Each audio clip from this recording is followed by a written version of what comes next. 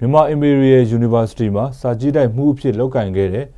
ကိုကျော်စင်ဝင်းဟာအလောက်ခွင်အတွင်းမှာလှုပ်ဖို့ကင်မဲ့တချို့ကသူ့ပေါ်မှာလိမ့်စိတ်ခံယူမှုကွဲပြားသူတယောက်ဖြစ်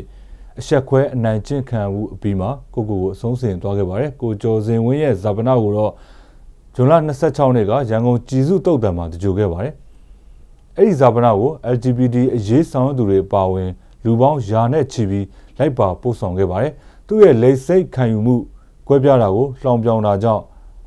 အသက်သေးတဲ့အထိဖြစ်ခဲ့တာလူသားချင်းမစာနာတာဖြစ်ပြီးတော့လူခွင့်ရေးကိုချိုးဖောက်တာဖြစ်တယ်လို့ LGBT အရေးဆောင်ရွက်သူတွေကပြောပါတယ်